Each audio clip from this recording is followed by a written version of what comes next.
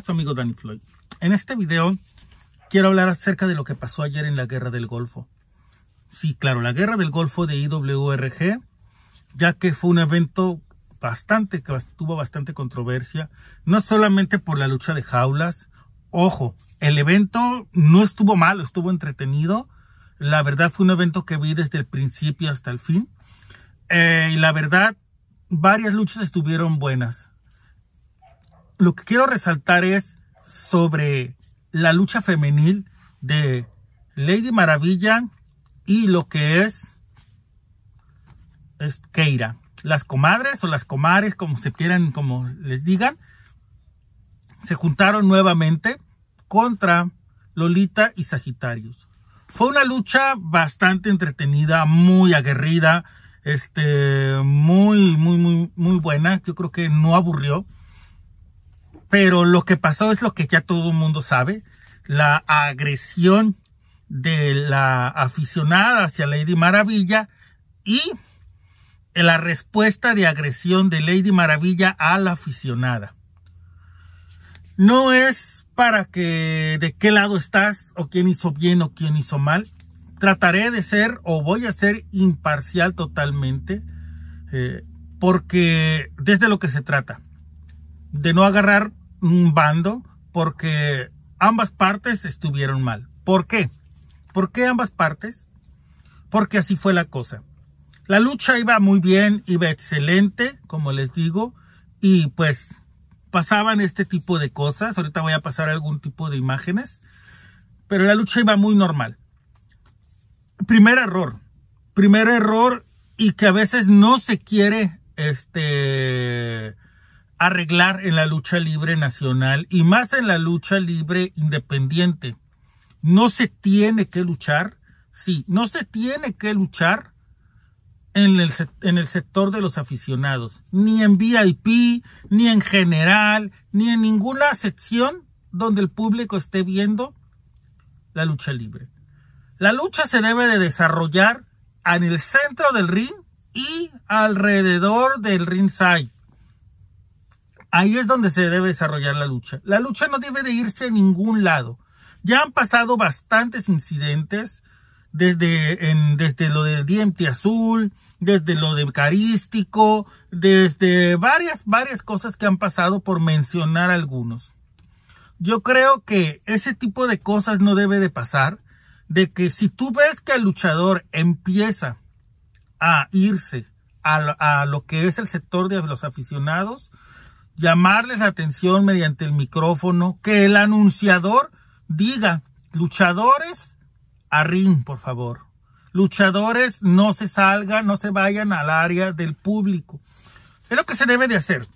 Si se hiciera o si se respetara esa regla, nos ahorraríamos bastantes problemas y bastantes agresiones.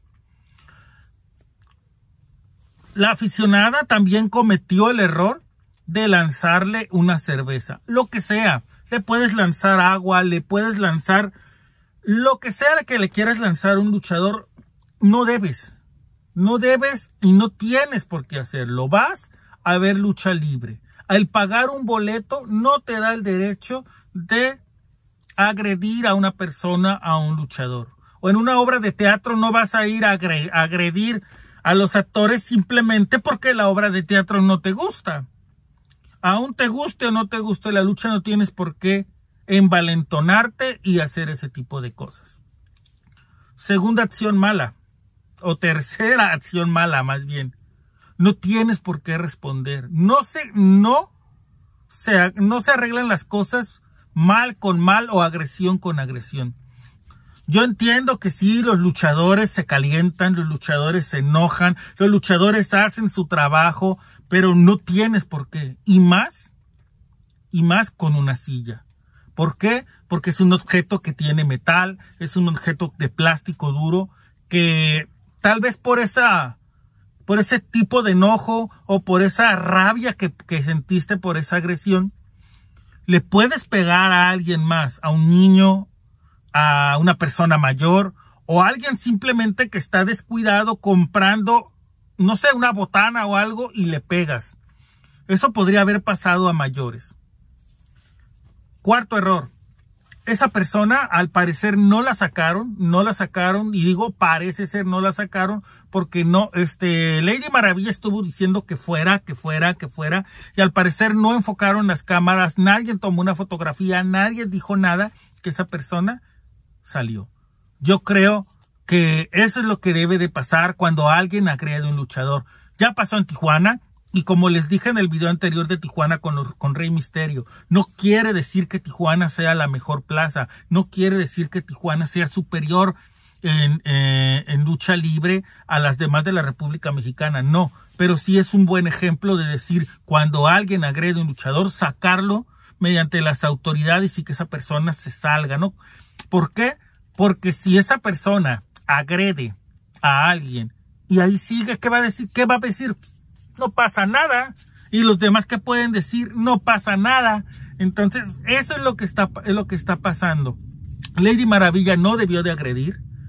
Y IWRG y su staff hubieran dicho, señores, van para afuera, señora quien haya sido, como se haya contestado, ese tipo de cosas no pas no deben de pasar porque tal vez después, y espero que no pase, podría pasar una cosa mayor. Ya pasó con un niño, ya pasó con una persona.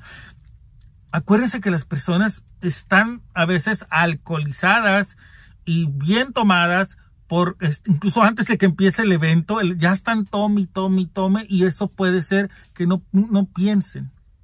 ¿Hasta cuándo se va a permitir que dejen de pasar ese tipo de cosas en la lucha libre?